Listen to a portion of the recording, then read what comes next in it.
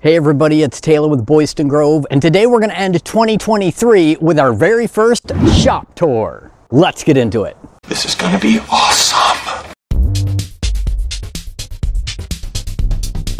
A couple years ago, my wife and I purchased a 1926 house here in Jacksonville, Florida, and it came with this outbuilding that is 16 by 20 and a little worse for wear.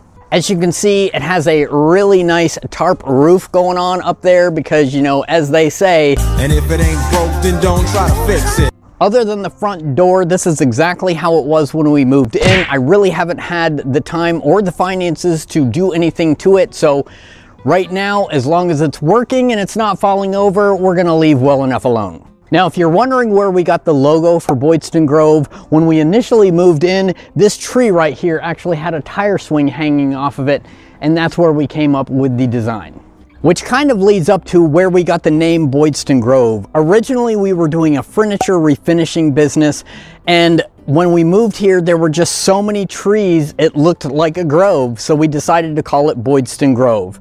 Now, of course, we've grown from that. We're no longer doing the furniture, but the name stuck with us. Now, when we moved in, there was no door on the building, so the first thing I did was build a door, and that's why it's raw wood. All right, so we've had a little look at the wonderful outside. Let's go take a look at the inside.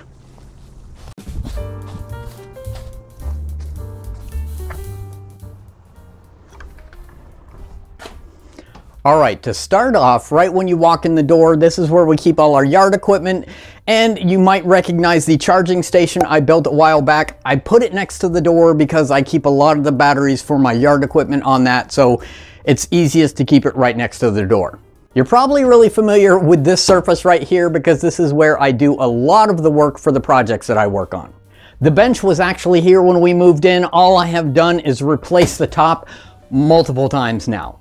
This wall already had the pegboard on it. All I did was add the French cleats. Now as we continue down, you might recognize the bandsaw that I had pretty much given up on, but I tinkered around with it a little bit and I did get it running. So right now it's okay, long as I'm really careful. Only time will tell, my friends. The cabinet that the bandsaw is on is actually a cabinet that we picked up when we were doing furniture flipping. I put some casters on it and that way I can move the bandsaw around and be able to work with it a little bit better. Right next to that, we have my Wen drill press, which is one of the few tools that I've actually bought totally brand new, and it was worth every penny. I'm so glad I invested in it.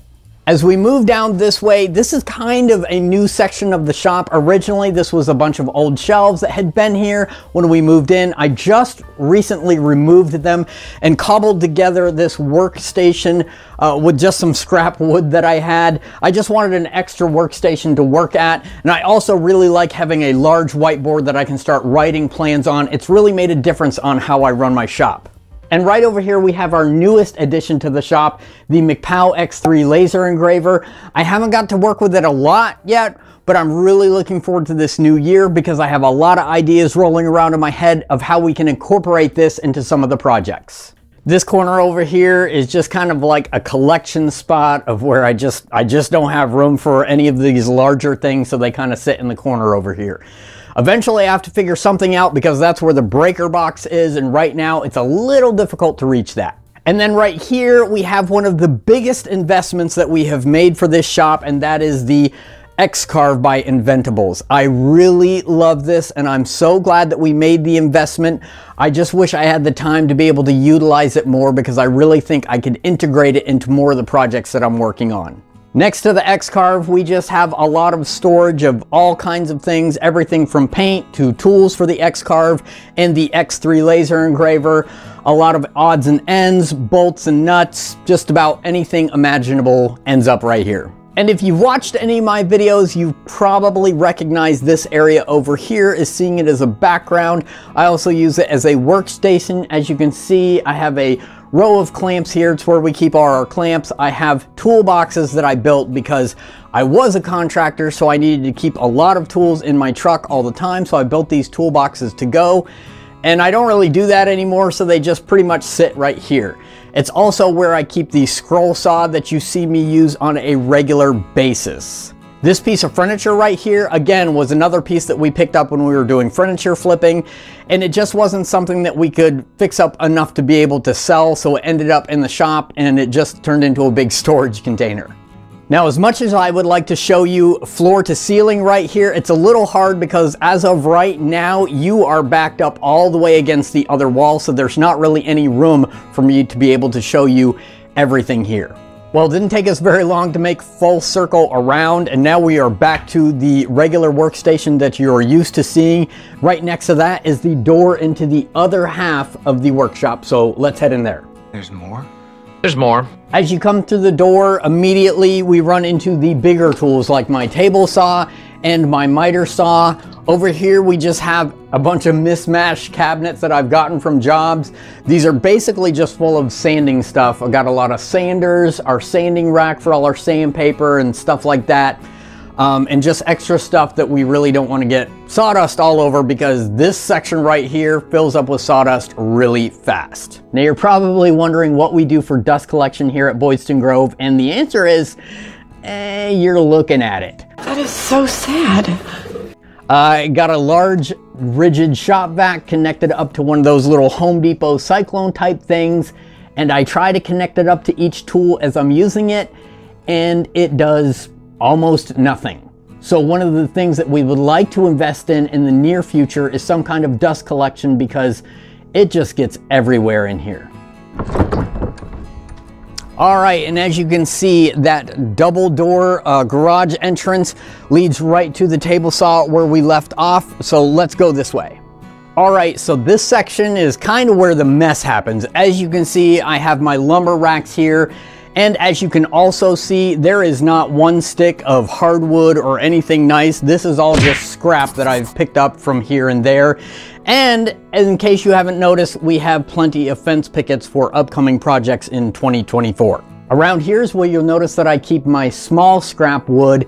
And then this is another piece that we picked up that we were gonna refinish, but this thing is so heavy that we just decided that even if we made it really nice, it would never sell because nobody's gonna wanna haul this thing around. So it just became a permanent fixture in my shop and I keep it full of my old contractor stuff that I used to use a lot.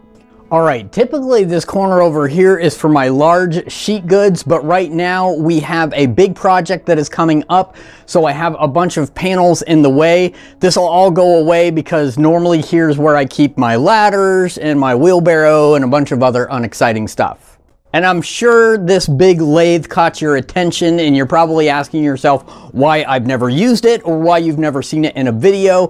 This isn't actually mine. This belongs to some good friends of ours. They were in the midst of moving and didn't have a place to keep it, so they gave it to me to hold onto for them and said I could use it, but I've been so busy I haven't even got a chance to fire it up yet. So maybe before I give it back to them, I'll get a chance to learn how to do some turning on it and I will share that with you. And right next to the lathe is this grinder that I just picked up at a yard sale for like 20 bucks and it came with this interesting looking stand. That is interesting. So my plan is to pretty much remove it from the stand, give it a permanent home here somewhere in the shop and maybe get rid of this. Okay, well that pretty much brings us full circle in the shop. It's not very big. Like I said, it's 16 by 20 and we really have this place packed out with all kinds of stuff. Now, I've always liked to work on projects and always liked to make stuff myself, but originally the business started as a furniture business. In fact, a lot of our original videos were just quick clips of furniture flips that we had done. The whole woodworking thing didn't really take off until about four or five years ago, and I just absolutely fell in love with it. And now here we are just a few years later. We've just hit that milestone of 10,000 subscribers. I'm so excited because I absolutely love doing this and I can't wait to see what 2024 brings. And I just want to give a big thank you to each and every one of you who have made this possible, just stuck it out with us, subscribe to our channel, leave those comments that are so encouraging. I really appreciate it. Speaking of 10,000 subscribers, if you've been keeping up with the videos, then you know that a couple videos ago, I said that once we hit 10,000 subscribers, we were gonna have a drawing for a random giveaway to one of our subscribers, just as a thank you for sticking with us all this time. Well, apparently there's a lot of rules to doing giveaways and things on YouTube, so I kind of did it wrong and we have to kind of start over. Now there's a few rules that we're going to have to set down because YouTube likes rules even when you're doing a giveaway. Number one is going to be you need to be subscribed to be entered into the giveaway. Number two, you need to go check out this video right here where we made the tic-tac-toe board. Number three, you need to comment on that video. And that's it. Just subscribe, watch the video, and leave a comment. And you'll be entered in for the random drawing for our giveaway. Now we're gonna give everybody two weeks from this date to get that done, and then we will have the drawing and we will let you know in two weeks from today who the winner is of our giveaway. Again, just a big thank you to all of you for being involved and taking part in this channel.